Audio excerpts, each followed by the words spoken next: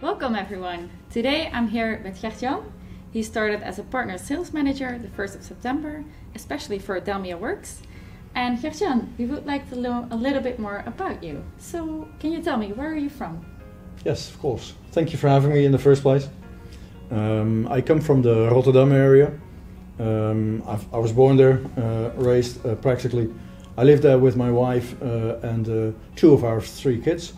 Uh, the third one moved out last summer, um, and uh, the two remaining are still studying from from their home from their home base, so to speak. Okay.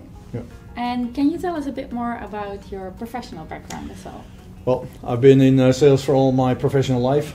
Um, the last, let's say, 18 years in uh, software sales. Um, and um, to be able to, uh, to sell software, you need to have a certain comprehension of the business mathematics, the business processes. Um, and it starts with um, just asking the right questions because your prospect, your customer is telling you what you should or what you shouldn't do. Okay, great. So a bit, little bit of storytelling as well.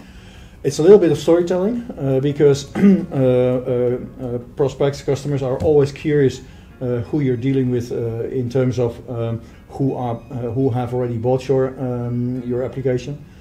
but on the other other hand, you need to be very pragmatic, and the sales guys that are over promising especially in software sales, uh, will be sorry uh, uh, for, for that because at the end of the day, your colleagues from professional services, the consultants, the implementation consultants, um, they will take over after you have finished and uh, they do not like surprises in general. So um, you need to understand the, the, the CBIs, uh, the critical business issues uh, from your customer.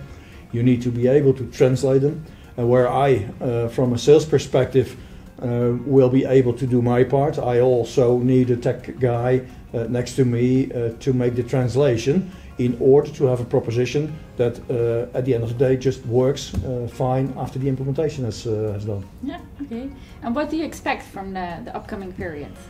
Well, actually, um, I was sitting at the last version of SolidWorks World in 2019 in Dallas uh, where the, annou- the announcement took place of the, let's say, the IQMS takeover. Uh, I was sitting in that uh, particular convention center because I then uh, was part of the sales team of one of the SolidWorks resellers in the Netherlands.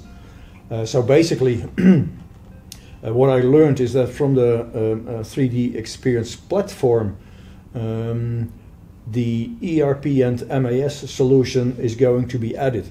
I was then uh, at that time very enthusiastic because I saw the bigger picture, and now three years later, um, here we are.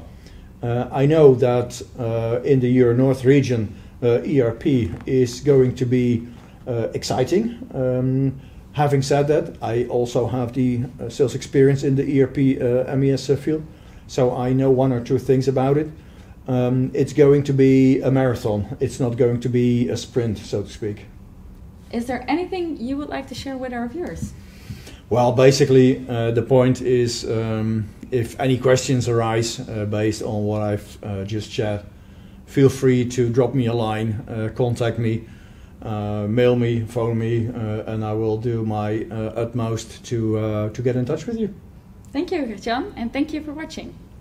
Thank you.